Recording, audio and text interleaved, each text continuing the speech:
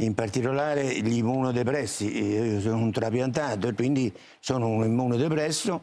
Non sempre con le prime due dosi si arriva con, con la presenza degli anticorpi. La terza dose, la, che viene definita addizionale nel caso specifico nostro, finalmente sono arrivati gli anticorpi, quindi anche io mi sento adesso protetto. Ecco. Prima mi era affidato alla provvidenza, ecco, naturalmente, ecco, che è sempre Però importante. Fidatevi perché eh. Pomicino è medico poi, esatto, eh, ce l'ha tutte, diciamo, è il perfetto... E vi aggiungo che la terza dose, anche per tutti quanti gli altri, sarà necessario perché in realtà con il decorso de de dei mesi la protezione si riduce. Peraltro io vorrei dire a tutti quanti noi, il, il Covid è un adenovirus della specie dei, dei virus influenzali.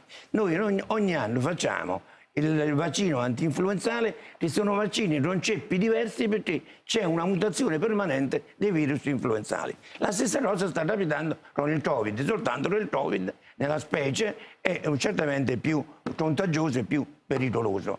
Vi aggiungo anche questo che se capita che un signore vaccinato venga di nuovo ricontagiato, questo signore però è difficile che vada in ospedale, avrà un pouch sintomatologia eh, oppure assolutamente asintomatico e si troverà contagiato rischia di essere un, un, un vettore a sua insaputa. Certo, ecco, certo. Però il, il, dramma vero è che bisogna affidarsi veramente alla scienza perché davvero è, è, è, è incomprensibile come si parla della tutela della libertà di coloro i quali non vogliono vaccinarsi e non si parla della libertà della stragrande maggioranza degli italiani che si sono vaccinati e che hanno la libertà esatto. di poter andare dovunque in sicurezza. E quindi ognuno deve avere la sua libertà. Se la mia libertà incide alla libertà di Fassina, non è la mia libertà. Questo è il dato vero. Allora, su questo versante bisogna Adesso torniamo anche alle pensioni. Vedo però un momento Giovanni Marinetti con eh, Francesco Boccia.